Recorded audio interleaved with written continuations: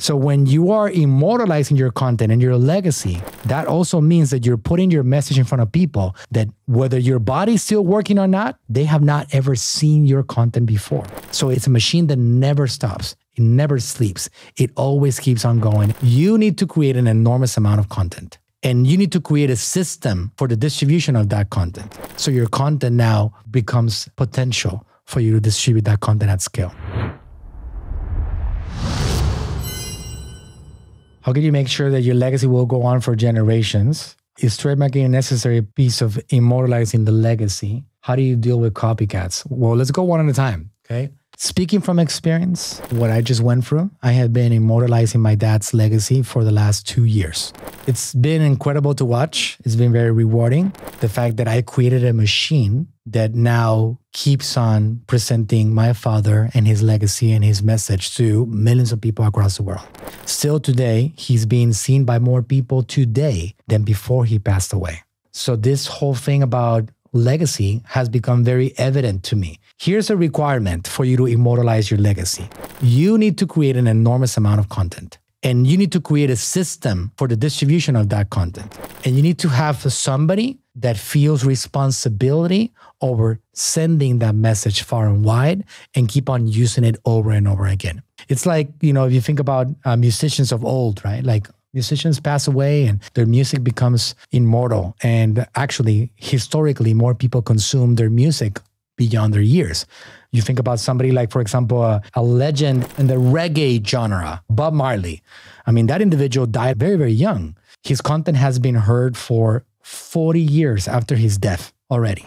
So if he produced music for 13 years of his life, maybe somewhere around 15 years, since he was a teenager to the age of 30 something, his content now, his music has gone throughout the entire world in the next 40 years at a scale that was a dream for him back then. That's immortalizing that content. In the case of like somebody creating content for social media or for distribution on, in the internet in general, it's all about that machine. Because the first thing that you got to realize is that there's people coming into this rotation and leaving this rotation every single day.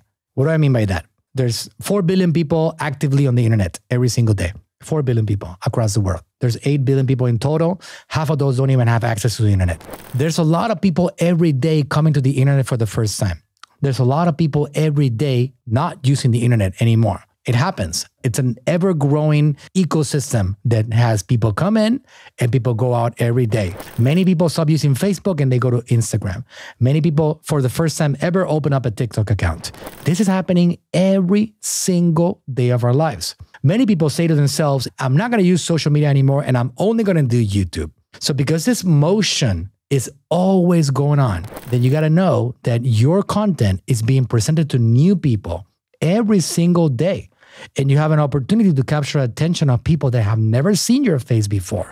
The social media platforms are going to keep on pushing your message in front of people consistently that have never seen your message before. So when you are immortalizing your content and your legacy, that also means that you're putting your message in front of people that whether your body's still working or not, they have not ever seen your content before. So it's a machine that never stops. It never sleeps. It always keeps on going. It always keeps on rolling. And you can be a part of that by creating a system around your message that is consistently spreading that message. We're posting videos today for my father that he created 12 years ago. We're posting them today and they're being seen as if they had never before been shared in the world. But people are seeing that content and it's impacting their lives right now because a lot of this content is, again, evergreen what my father taught 12 years ago is going to save a life today, even though it was taught 12 years ago. So when you think about, for example, religious scriptures, how many people are consuming religious scriptures every day that were written dozens of years, hundreds of years ago, and are still saving the lives of people every single day? That is the same concept here applied to the world of the internet. We want to keep on getting people to consume the information that we created because we knew that that information was going to make somebody else better. And that's what it's all about. That's the immortalizing of a legacy and immortalizing of content. It starts with the enormous content that you want to produce. So your content now becomes potential for you to distribute that content at scale.